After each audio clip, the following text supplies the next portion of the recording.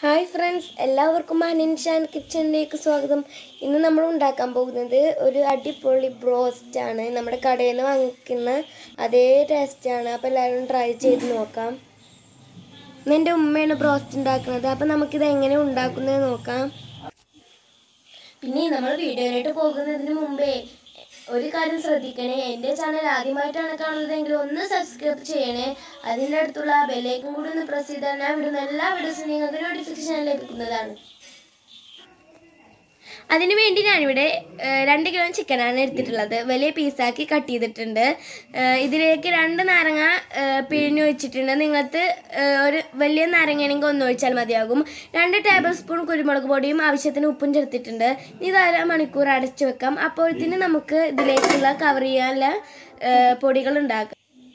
അതിനുവേണ്ടി ഞാനിവിടെ ഒന്നര കപ്പ് മൈദ എടുക്കുന്നുണ്ട്.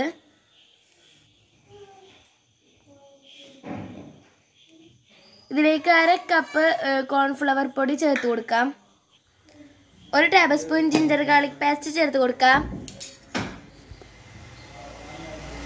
ഏലക്കയും പിന്നെ വലിയ ജീരകം പൊടിച്ചതാണിത്. അതും ചേർത്ത് കൊടുത്ത് ഉപ്പും ആവശ്യത്തിന് ഉപ്പ് മതി. ഒരു കളറിനായി കുറച്ച് മഞ്ഞൾപ്പൊടി ചേർത്ത് കൊടുക്കാം. ഇനി ഇതെല്ലാം ഒന്ന് മിക്സ് ചെയ്ത് കൊടുക്കാം. കൈ കൊണ്ട് വേണം കേട്ടോ മിക്സ് ചെയ്യാൻ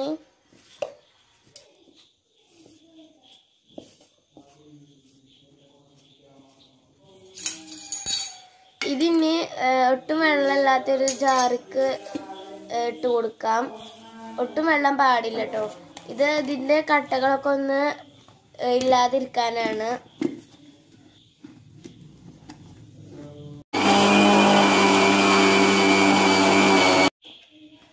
ഒരു പാത്രം എടുത്തതിന് ശേഷം രണ്ട് മുട്ട പൊട്ടിച്ചൊഴിക്കുക.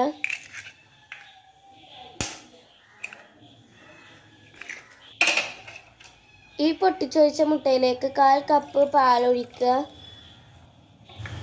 ശേഷം നന്നായി ഒന്ന് മിക്സ് ആക്കി കൊടുക്കുക.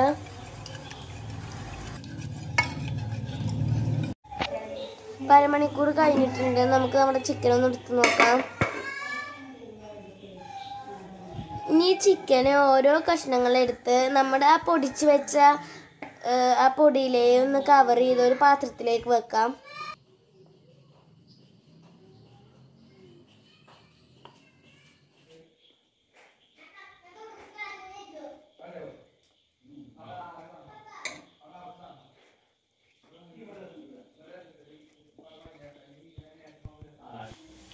എല്ലാവരും ഒന്ന് കവർ ചെയ്തെടുത്തിട്ടുണ്ട്. എണ്ണ ചൂടാതിന് ശേഷം നമ്മൾ ആദ്യം കവർ ചെയ്തത് ഒന്ന് മുട്ടയിൽ മുക്കി ഒന്ന് കവർ ചെയ്യണം.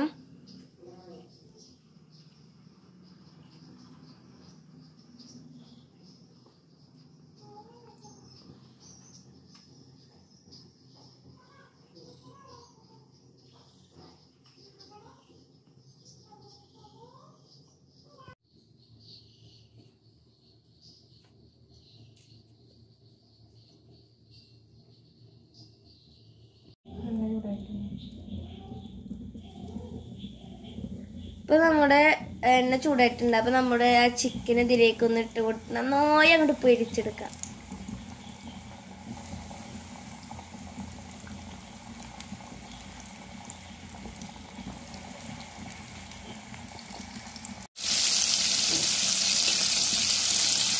ഏകദേശം ആയിട്ടുണ്ട്. ഒന്നങ്ങോട്ട് മറിച്ചിട്ട് കൊടുക്കാം.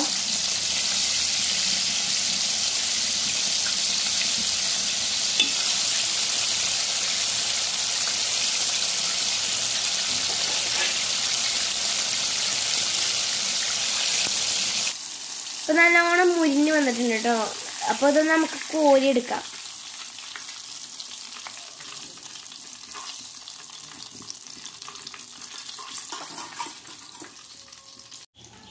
ഇനി ഇതുപോലെ എല്ലാതും അങ്ങോട്ട് പൊരിച്ചെടുക്കണം.